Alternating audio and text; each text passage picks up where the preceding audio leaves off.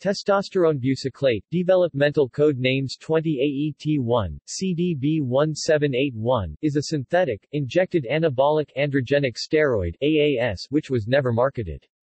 It was developed in collaboration by the Contraceptive Development Branch CDB of the National Institute of Child Health and Human Development NICHD and the World Health Organization WHO in the 1970s and early 1980s for use in androgen replacement therapy for male hypogonadism and as a potential male contraceptive.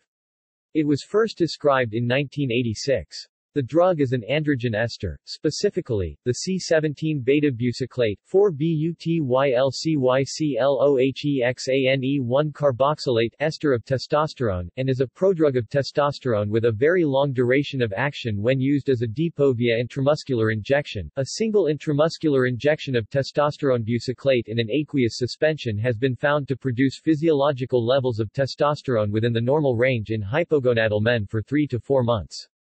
The elimination half-life and mean residence time average amount of time a single molecule of drug stays in the body, of testosterone buciclate were found to be 29.5 days and 60.0 days, respectively, whereas those of testosterone enanthate in castor oil were only 4.5 days and 8.5 days.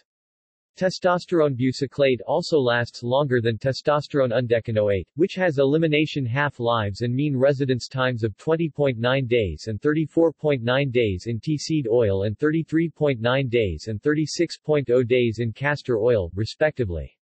In addition, there is a spike in testosterone levels with testosterone enanthate and testosterone undecanoate that is not seen with testosterone buciclate, with which levels stay highly uniform and decrease very gradually and progressively. Testosterone buciclate is able to reversibly and completely suppress spermatogenesis in men when used at sufficiently high dosages.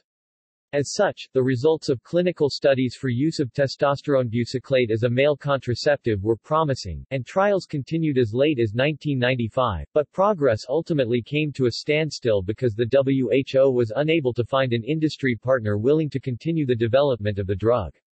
Because of this, the WHO backed away from testosterone buciclate and focused its research instead on testosterone undecanoate, which is also very long-lasting and has the advantage of having already been marketed and approved for medical use. See also List of androgen esters Section Testosterone esters Polytestosterone phloretin phosphate References